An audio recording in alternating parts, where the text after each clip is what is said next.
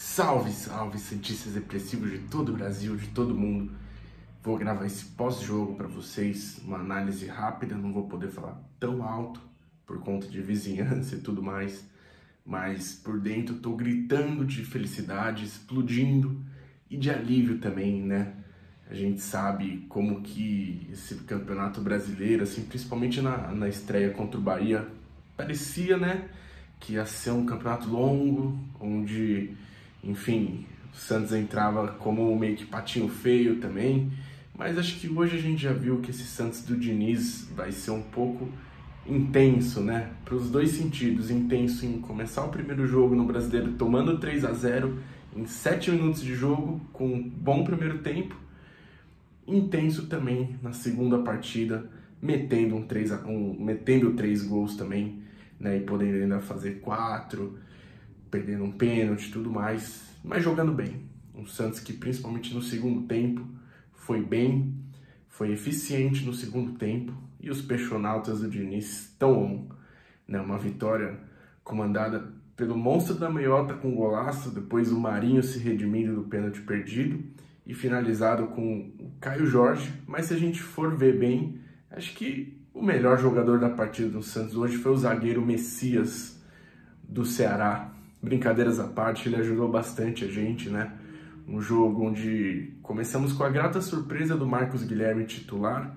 Marcos Guilherme, ao meu ver, foi bem, falando especificamente dele, jogador que se movimenta bastante, é rápido, tem uma boa leitura e entendimento de jogo e vai ser uma boa disputa com o Lucas Braga né, naquela ponta. É uma peça interessante, versátil e ele ainda pode fazer o meio de campo também. Então o jogo começou um pouquinho truncado, com os times se estudando, né, o Ceará chegando um pouco também, mas o Santos até que administrando, fazendo uma boa partida. E logo no começo do jogo, o zagueiro Messias, como eu falei no começo do jogo, fez um pênalti bem infantil que ele tentou tirar de cabeça, deu um peixinho, a bola bateu na mão dele e tudo mais, foi pênalti. Né? E o Marinho, totalmente displicente na bola, tomou uma distância de uns 20 metros assim, fez toda a pose dele, foi lá, bateu todo desconcentrado para fora. Não é nem que o goleiro pegou, para fora, né?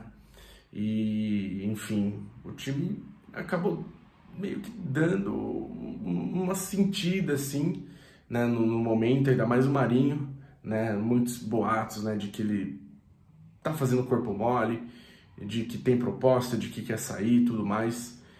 Mas, enfim, o Santos também, por outro lado, não demorou para reagir desse pênalti perdido. O monstro da meiota, né, o Jean Mota, que vem jogando bem, com a sua canhota poderosa, foi lá e marcou um golaço um dos gols mais bonitos do Santos nessa temporada, porque também não foram muitos, né?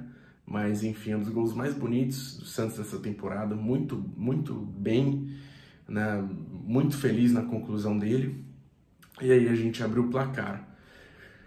Nisso, os jogadores ainda estavam meio que, sabe, estavam tentando botar intensidade tudo mais, botar ritmo, fazer algumas jogadas tocar, tocar bola também, mas nesse primeiro tempo em especial não era bem a cara de início que a gente tá vendo, né? Que a gente ainda imagina. Claro, tá no começo do trabalho e tudo mais, mas a gente vê o Diniz nervoso em alguns momentos do jogo, porque muitos jogadores estavam desobedecendo ele também, né? Ele mandava os jogadores trabalhando em jogadas para um lado do canto, eles iam para outro, enfim, diversas outras coisas também, né? Mas o Santos foi administrando, né? Quando fez 1 a 0, ainda tentou botar intensidade, sempre na frente em posse de bola, né? Bem característica de Inesista.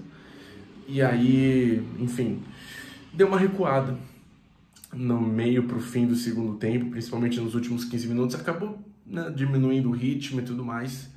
E aí uma jogada bem, bem feliz do Felipe Jonathan, o Santos com a bola no meio de campo, tranquilo, último lance do primeiro tempo, já tinha quase passado os 47, né, esse dois de acréscimo, ele deu um escanteio para o Ceará, chutou a bola para lateral.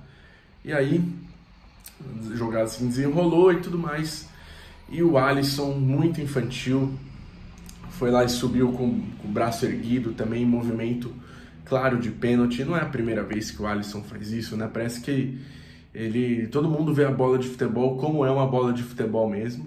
E o Alisson é o único que vê uma bola de futebol como uma bola de vôlei. Ou tem um mão, na mão dele, não sei explicar, né?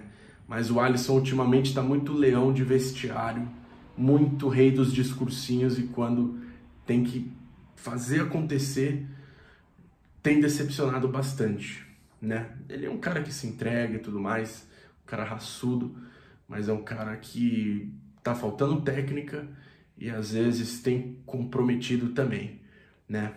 O Vina foi lá, bateu bem o pênalti, e aí o Santos, né, foi pro intervalo com uma ducha de água fria que foi esse empate no finzinho, com um jogo bem controlado, tranquilo, né? Visto que o Santos poderia ter aberto 2 a 0 nesse primeiro tempo, mas enfim.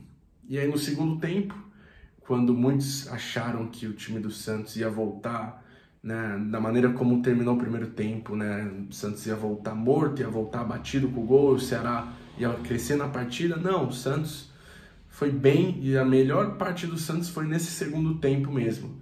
Né? Foi melhor que no primeiro, onde o Santos conseguiu ser incisivo né, nesse segundo tempo, teve chances e tudo mais e converteu em gol, em dois gols também.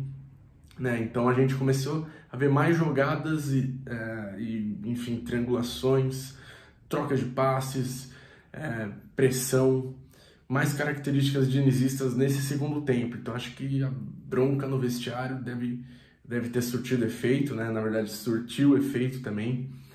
E aí. Deu um negócio de bateria aqui. E aí, enfim. É, o Messias, como eu falei dele no começo, também falando dele de novo a gente já ama o Messias Giovanni, agora a gente tem que amar o Messias zagueiro do Ceará também.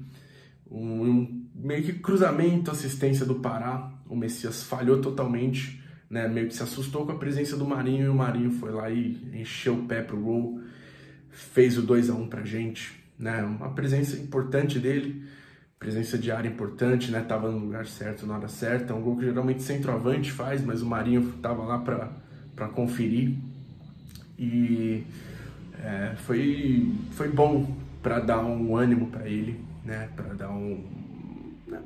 para se redimir um pouco.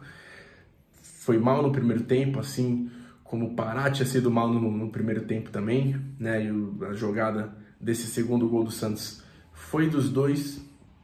E aí depois o Santos tranquilamente administrou a partida, controlou. É, acho que a defesa com o Luan Pérez, Luiz Felipe.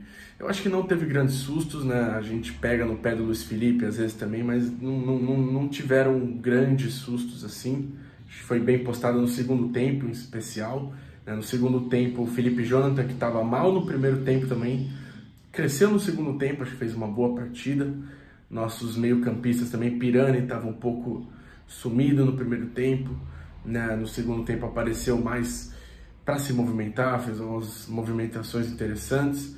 E falando do Pirani agora, foi dele a assistência para o nosso terceiro gol, um gol de malandro do Caio Jorge, né? Foi lá, amarrou a chuteira e já avisou o Pirani, né, que, que ele ia aparecer como elemento surpresa. E aí o Pirani botou na área na medida e os jogadores do Ceará que estavam marcando a bola, né, não, meio que tinham abandonado o Caio Jorge, não viram o Caio Jorge chegando como um raio lá do fundo e cabeceando a bola desviou em quem?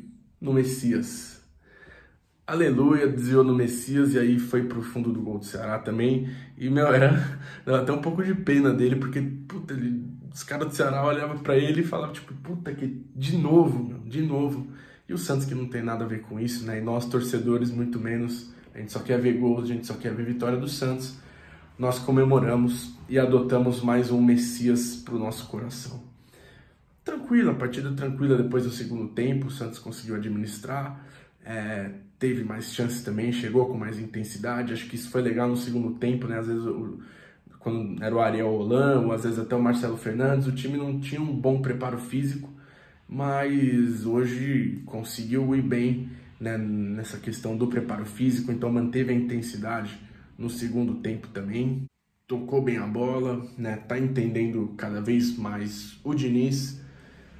E teve volume de jogo, né? Acho que teve, teve igual no primeiro tempo. Teve certo volume de jogo também, mas depois recuou em certa parte. Mas esse segundo tempo acho que foi praticamente o tempo todo com um bom volume de jogo. Né? Nossos, nosso centroavante Caio Jorge aí, mais uma vez ajudando.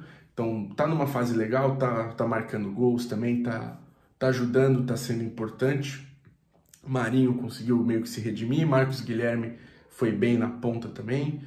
É, Alisson depois foi se achando na partida, mas tá muito leão de vestiário ainda. E o Diniz deu oportunidade pro, é, pro Danilo Bosa, pro Marcos Leonardo, deu oportunidade para a galera toda. Né? Não, acho que não, não teve muito que avaliar desses que entraram aí, mas é legal ver o Diniz rodando e conhecendo cada vez mais o elenco.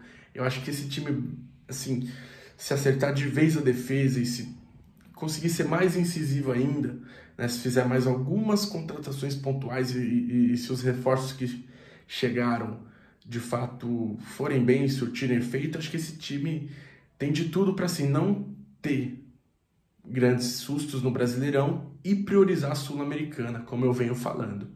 Né? Não sei o que vocês acham, tudo mais, eu acho que o Santos tem que sim priorizar a Sul-Americana esse ano porque eu acho que ainda a gente na Copa do Brasil tá, tá para trás em relação aos outros elencos, o Brasileirão também tá para trás. E acho que uma Sul-Americana, embora tá difícil, tem adversários cascudos, acho que seria seria não, um campeonato importante no qual a gente poderia tentar depositar fichas. Fechou, pessoal? Acho que é isso. É, queria saber o que mais vocês têm para complementar, então podem falar à vontade, o que vocês concordam, discordam, pontos positivos, negativos, e é isso. Os peixonotas do Diniz estão on, a Turo Sula e a nossa primeira vitória no Brasileiro, que seja a primeira de muitas, e ó, alívio, alívio.